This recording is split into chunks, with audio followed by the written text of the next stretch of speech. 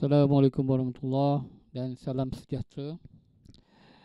Uh, hari ini kita bermula dengan kelas online kita iaitu kelas apa nama communication technology. Okey, communication technology apakah kefahaman anda mengenai kefa, apa communication technology ini? Hmm? Okey. Communication technology ni adalah uh, kita tahu dia adalah merupakan uh, sistem perhubungan.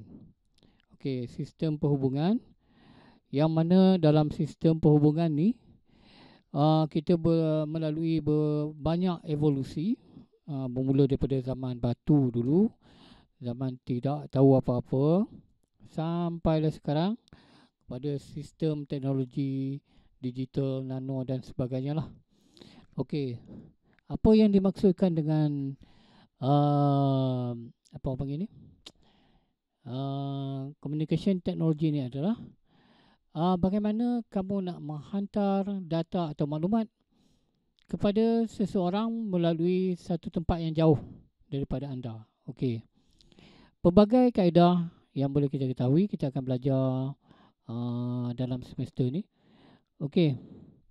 Tapi sebenarnya kita tengok ah, dari, daripada sejarahnya sistem perhubungan ni bermula daripada sebenarnya dah lama. Kalau dulu kita berhubung kalau kita melalui jarak yang jauh kita menggunakan uh, api sebagai isyarat. Contohnya lah kan api lepas tu gong macam uh, macam masjid.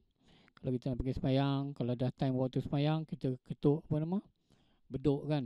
Ha, Okey, macam tu juga dengan sistem teknologi elektronik ni. Ha, yang bahagian elektronik ini sebenarnya adalah uh, kita katakan boleh dikatakan bermula daripada tahun 1837 melalui Samuel Morse yang mula mencipta telegraf. Okey, telegraf ni adalah bukan sistem kita yang kita bersembang sekarang ni. Eh bukan telegram tu kan. Uh, dia sebenarnya adalah merupakan sistem uh, kod macam uh, kod macam bunyi kan. Tap tap tap tap tap tap tap tap tap. Ah itu itu adalah telegraf okey kemudian bermula tahun 1858 kabel telegraf pertama merintasi Atlantik iaitu daripada Canada to Ireland. Okey itu bermulanya uh, penggunaan kabel tapi menggunakan sistem telegraf. Okey, kemudian berkembang lagi iaitu pada 1876 melalui Alexander Graham Bell yang mula mencipta telefon. Okey, dia mula mencipta telefon. Kemudian uh, yang seterusnya pada 1988 Heinrich Hertz uh, mula memperkenalkan mula memperkenalkan teori gelombang elektromagnet. Okey, ini adalah perkembangan yang uh, bermulanya teknologi menggunakan uh, apa nama? menggunakan wave ataupun gelombang, okey. Okey, kemudian kita tengok ah. Kemudian 1997 makaroni. Eh makaroni, marconi, marconi bukan makaroni ya, makaroni makanan. Marconi mula mencipta telegraf tanpa wire ataupun wireless. Maknanya kalau selama ni kita gunakan kabel, kita tukarkan kepada tanpa wire. Bila tanpa wire maksudnya adalah tidak perlu kabel. Jadi penjimatan kos dekat situ ada dan satu lagi uh, boleh dihubungkan secara jarak jauh walaupun melalui uh, merintasi lautan. Bila merintasi lautan maksudnya tidak perlu kabel, hanya perlu hantar wave. Okey. Hantarkan gelombang di mana gelombang tadi yang dihantar okey kita terima dan kita ambil dia melalui apa nama begitu uh, daripada gelombang elektromagnet kita ambil dia melalui antena. Ha, itu sebagainya contoh kan. Tapi sekarang ni macam-macam contoh lagi ya. Tapi tetap menggunakan wave. Okey. Okey kemudian pada tahun 1906 ha, sistem perhubungan radio dicipta sistem perhubungan radio dicipta okey bermulalah kita kata e, era baru Uh, era baru di mana sistem perhubungan radio dicipta ni maksudnya bila radio ada kaitan dengan audio. Audio dan juga video. Okey. Maksudnya gini, kita gunakan apa nama wireless tadi. Kita gunakan bukan hanya sekadar data sekadar data apa nama kod tapi kita gunakannya adalah untuk menghantar isyarat analog. Macam suara saya sekarang ni okey kita hantar pada jarak yang jauh melalui gelombang radio. Itu maksud dia gelombang radio. Faham? Kena faham itu gelombang radio. Apa maksud yang dimaksudkan dengan gelombang radio okey? Gelombang radio sebenarnya adalah gelombang yang berkaitan dengan uh, apa nama orang panggil itu berkaitan dengan elektromagnet Okey, dia dihantarkan melalui elektromagnet uh, dan diterima oleh antena dan kemudian receiver dan dihantar kepada uh, ditukarkan balik kepada nilai uh, apa nama orang begitu? Ditukarkan balik kepada uh, isyarat analog. Okey. Analog faham analog? Tak faham lagi analog eh? Analog tu isyarat yang saya cakap sekarang ni analog lah. Okey, analog ni maksudnya yang uh, isyarat yang raw lah. Yang kita ber yang yang asal kan. Macam isyarat saya ni analog lah. Okey. Okey sekarang ni selepas tu 1923 mula terciptanya televisyen terciptanya televisyen masih menggunakan isyarat radio. Okey isyarat radio dihantar melalui melalui transmitter dan diterima oleh receiver okey kemudian 1938 uh, radar dan sistem microwave dicipta untuk perang dunia kedua. Uh, masa masa ini perang ni uh, sistem ni penting eh. Uh, sistem radio ni ataupun hubungan ni uh, penting. Sebab apa? Uh, bila berperang kita memerlukan apa nama order ataupun arahan ataupun kita apa risikan dan sebagainya memerlukan uh, peralatan ni untuk dihantar bukannya dekat ah. Uh, yang mengarah tu jauh daripada ni. Macam mereka nak nak perangi apa nama Rusia kan. Uh, jadi mereka mereka akan berhubung melalui ni isyarat ni isyarat kita panggil elektromagnet ni isyarat radio okey uh, radar dan sistem microwave. Uh, microwave tu maksud dia uh, gelombang yang lebih kita apa bukannya gelombang yang besar-besar lah yang lebih kata apa uh, gelombang yang lebih besar lah. Maksudnya dia punya apa nama dia punya bandwidth dia lebih besar. Okey. Yang seterusnya kabel telefon pertama dipasang melan, uh, merentasi Atlantik okey masih menggunakan kabel sebab masa ni belum ada lagi teknologi seperti satelit dan sebagainya yang boleh dihubungkan lebih jauh berbanding dengan yang sebelum ni kan. Uh, berbanding dengan uh, kabel. Kalau kabel ni kita tahulah kos dia memang tinggi lah bayangkan uh, kalau kita nak merintasi apa nama uh, lautan Atlantik kan. Daripada Amerika nak pergi ke ke apa nama Eropah dan sebagainya memang perlukan kos yang besar. Okey?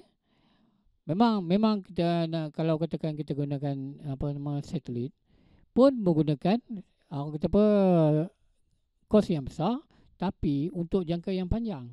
Mungkin untuk jangka yang panjang adalah lebih jimat. Kalau berbanding menggunakan kabel. Okey kalau kita tengok sekarang pun uh, sistem televisi uh, apa nama komunikasi kita pun uh, melalui daripada macam saya dengan kamu lah contohnya lah kan okey saya dengan kamu pun kalau kata kamu sekarang berada tempat yang jauh saya perlu berhubung menggunakan boleh menggunakan uh, telefon. Telefon kita pun sekarang dah sudah berbeza. Di mana telefon kita sekarang lebih kecil. Okey, lebih kecil. Yang kita perlu adalah repeater. Ada kawasan yang tak, tidak ada line, kan? Tapi macam saya dengan dengan yang ada line boleh bersembang lah. Macam ni lah kaedahnya kan. Okey. Jadi sistem sekarang ni dah banyak berubah. Uh, di mana kita dah apa nama semua di dalam tangan lah entah-entah bila akan datang ni semua dah ditanam dalam badan kita pula tak tahulah kan okey Kemudian uh, 1960 laser dicipta. Laser ni adalah satu perkembangan yang mana uh, berkaitan dengan kabel optik. Kan kabel optik ni menggunakan cahaya kan. Okey, cahaya ni cahaya yang laser lah. Yang mana cahaya laser ni dia tumpuannya adalah lebih jauh daripada uh, apa nama lampu yang tumpu kan, tumpu ataupun yang boleh boleh kembang tu dia pendek. Kalau yang laser ni dia lebih jauh. Okey ni adalah satu perkembangan apa nama uh, contohnya kabel optik ya. Okey. Tapi laser ni uh, mula dicipta dia orang tak terfikir pun pasal kabel optik ni kan. Okey, kemudian yang paling besar sekarang ni menggunakan perhubungan secara satelit. Bermula tahun 1962. Okey. Di mana kita tengok kat sini bila menggunakan apa nama satelit ni perhubungan kita adalah seolah-olah uh, betul lah apa yang dikatakan dalam uh, petanda-petanda akhir zaman ni uh, dunia ni semakin kecil. Memang semakin kecil. Bayangkan kita boleh oh, tak ada masalah lagi. Kita nak bersembang dengan orang yang jauh kan? Kalau dulu kalau kita nak bersembang orang jauh kita terpaksa lah. Uh, pergi berjalan kaki pergi ke tempat ni semua jauh kan? Lepas tu barulah dapat berhubung. Ataupun melalui uh, contohnya uh, berhubungan melalui telefon.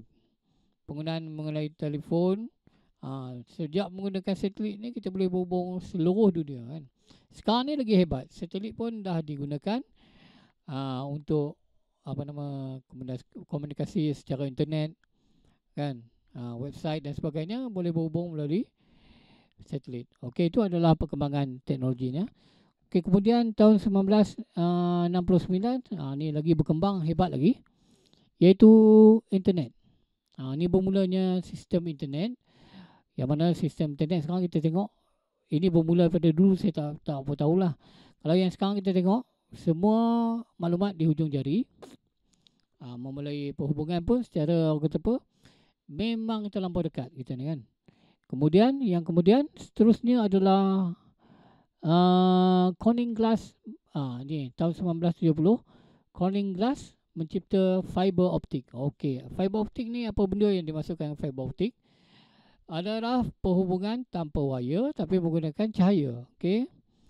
Yang kita tahu pun cahaya ni adalah lebih pantas. Kepantasan cahaya ni adalah lebih lebih laju daripada suara, lebih laju pada wave. Ha, dia adalah lebih laju, cepat. Jadi perhubungan ni memang kita nampak lebih lebih laju lah. Okey, kemudian tahun kemudian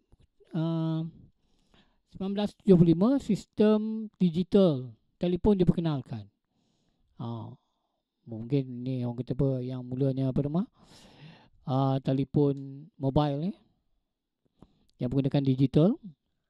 Yang mana kita tahu daripada analog ditukar kepada digital, daripada digital di apa di kod bukan balik ataupun dinyah kod balik jadi uh, audio. Ini adalah sistem sekarang ni ya, yang banyak kita gunakan sekarang uh, di mana sistem digital?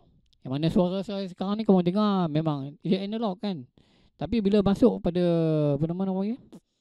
Saya punya ni saya punya interface. Bila masuk saya punya interface interface audio interface dia akan bertukar kepada digital. Dan masuk kepada prosesor uh, apa nama komputer pun dia akan jadi digital. Kemudian yang kamu dengar tu dia akan nyah kod ataupun decode dia akan jadi analog balik. Ah, jadi apa yang kamu dengar daripada suara saya ni adalah uh, analog tukar pada digital, digital tukar balik pada analog. Okey. yang seterusnya tahun 1985 terciptanya mesin fax. Okey. Okey itu adalah sedikit perkembangan uh, perkembangan orang kata apa perkembangan uh, teknologi perhubungan ya. Okey. Bab satu.